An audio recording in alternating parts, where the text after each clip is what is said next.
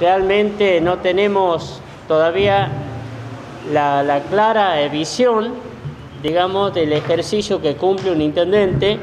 y que cada vez que abre la boca eh, ofende a las instituciones, ofende a los trabajadores. Es por eso que este, continuamos con esta lucha y que no va a parar hasta que los trabajadores este, de recreo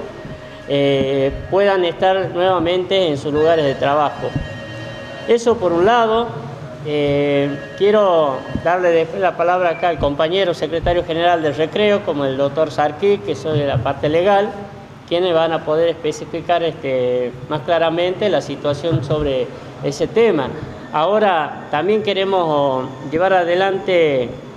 con la continuidad, queremos que sepan que las medidas de fuerza que se vienen realizando a nivel provincial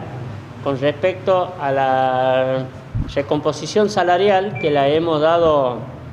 rechazado, la hemos rechazado por insuficiente, dada este, las circunstancias también de la inflación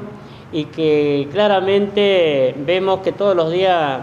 tenemos la suba del combustible, que sabemos que es la madre de todos los precios, y que eso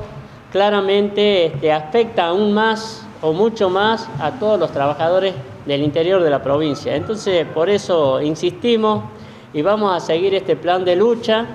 que ya ha sido notificada a la patronal en el día de ayer, como así también, por supuesto, todos los municipios del interior, en donde vamos a continuar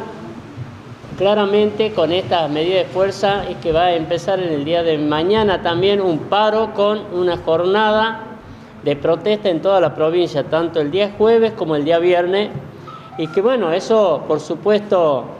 dando y viendo este, la indiferencia de parte del gobierno hacia los trabajadores, por eso este, las medidas de fuerza no van a parar hasta que tengamos respuestas concretas y favorables a los trabajadores. ¿Esta medida implica movilización, Implica movilizaciones, implica cortes de calle, implica este, panfleteadas, eh, todo lo que se decida por asamblea, los trabajadores van a hacer este, en estas jornadas de protesta que se va a llevar adelante en estos dos días.